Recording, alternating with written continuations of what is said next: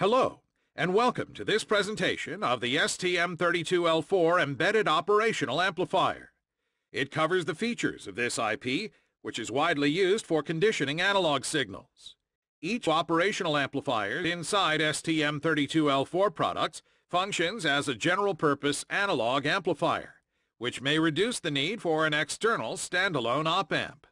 As these op-amps can be configured in standalone mode with all terminals available for the user, it is possible to use them as a voltage follower, non-inverting and inverting amplifiers, as well as analog filters, such as low or high-pass filters. They can also act as a preamplifier for the ADC input. The operational amplifier inside STM32L4 products offers general-purpose rail-to-rail inputs and outputs.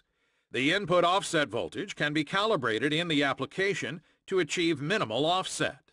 All the terminals are accessible by the user so that any operational amplifier function can be configured with external passive components. For low-power applications, which do not need high bandwidth, a low-power mode is available which only consumes 45 microamps from VDDA. For current sense applications, a dedicated low-leakage input pad is available on the BGA 132 package.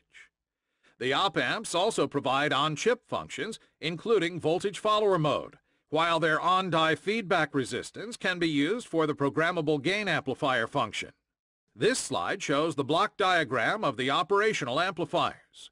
The STM32L4 integrates two operational amplifiers. Several switches are used to configure different functions. Each op-amp can be configured differently. The operational amplifier can be configured as an internal voltage follower, where the internal switch connects the output to the inverting input. In internal voltage follower mode, the GPIO pad assigned to the op-amp's inverting input is free, so that it may be used with a different function as subsequently assigned in the GPIO selection process. This STM32L4's op-amps support non-inverting amplifier mode with four fixed gains available. The feedback resistors can be selected to have a gain of 2, 4, 8, or 16 to support the programmable gain amplifier function. It may also be beneficial to use the op-amp as an ADC input so that the full dynamic range of the analog to digital converter can be applied to signals having a small amplitude. The op-amps also support external connections on outputs and the non-inverting input to create the PGA mode. It enables the connection of an external capacitor to add low-pass filter characteristics to the PGA configuration. The op-amps have a very low leakage, inverting input pin to support the current sensing application. The dedicated pads are only available on the BGA 132 and BGA 169 packages and have 1 nanoamp leakage, which allows for a current-to-voltage conversion with high precision.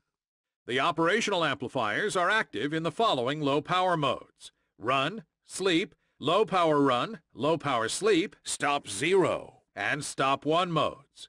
In stop 2 mode, the op-amp is not available, but its register's content is kept. In standby or shutdown modes, the op-amp is powered down and must be reinitialized for use if returning to one of the higher-powered modes. The following table shows performance parameters for the STM32L4's op-amp. The op-amp can work from 1.8 to 3.6 volts from the VDDA supply with rail-to-rail -rail input and output. The offset voltage can be calibrated down to 1.5 millivolts. It has normal and low power operating modes. Normal mode can have a gain bandwidth of 1.6 megahertz while low power mode only has 0.42 MHz of gain bandwidth, but comes with the added benefit of reducing power consumption. Thanks to its fast wake-up time of 10 to 30 microseconds, it is not needed to keep it always enabled, but only when the functionality is necessary. The STM32L4's op-amps are suitable for the preamplification of the ADC input because the integrated PGA can enhance the dynamic range of the analog-to-digital converter. It is handy to use as an on-chip voltage follower instead of using an off-chip standalone op-amp. Its low bias current allows it to properly perform as a current-to-voltage converter for the current sensing function. This is a list of peripherals related to the operational amplifiers. Please refer to these peripheral trainings for more information if needed.